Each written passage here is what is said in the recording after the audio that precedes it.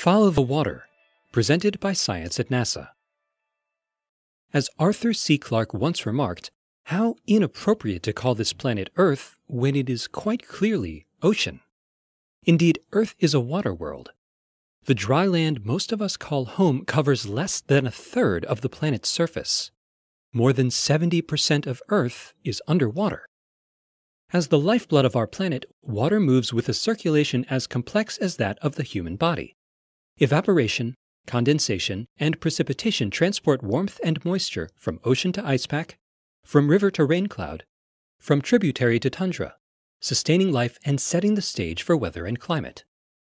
The water cycle, so familiar to all school age young scientists, is one of the most dynamic and important elements in our studies of Earth, says John Grunsfeld, Associate Administrator for NASA's Science Mission Directorate in Washington, D.C.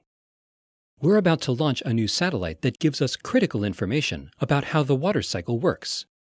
It's called the Global Precipitation Measurement Core Observatory, or GPM for short.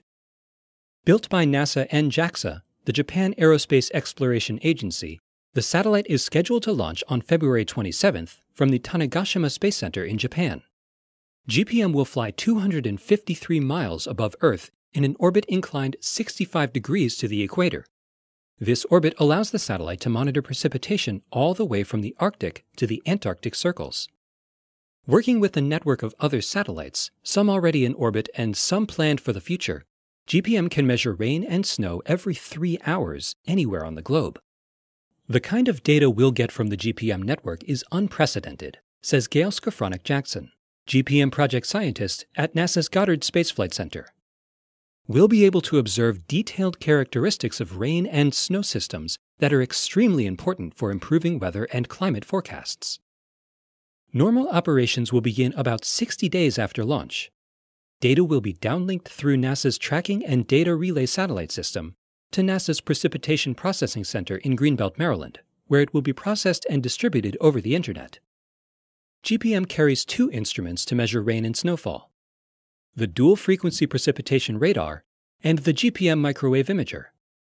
Compared to instruments flown on previous Earth science satellites, GPM's precipitation radar and microwave imager can see deeper into clouds and detect smaller particles of rain, ice, and snow.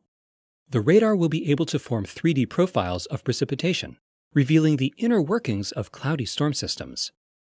The microwave imager will measure not only heavy and moderate rain, as other satellites do, but also light rain and snow, two forms of precipitation important over mountain ranges and high latitude sites in North America, Europe, and Asia. What we learn from the GPM network, concludes Grunsfeld, will help us cope with future extreme weather events and manage freshwater resources in a changing world. Make that water world. For more news about NASA's missions to take the vital signs of our planet, please visit science.nasa.gov.